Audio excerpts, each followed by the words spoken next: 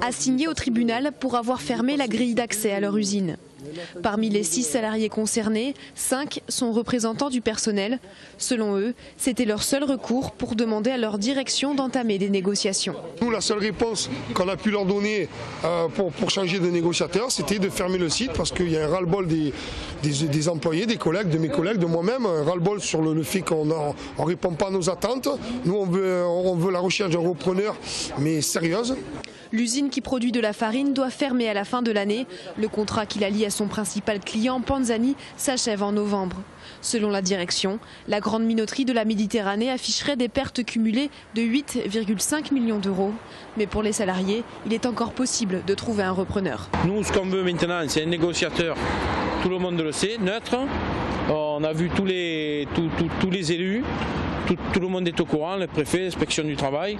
Et donc nous on attendra, on ne bougera pas, on ne quittera pas le site jusqu'au bout, jusqu'à la fin. Personne ne nous lèvera le site, le site est à nous et on va le garder. Depuis l'annonce de la fermeture de l'usine, le climat est de plus en plus tendu selon les salariés.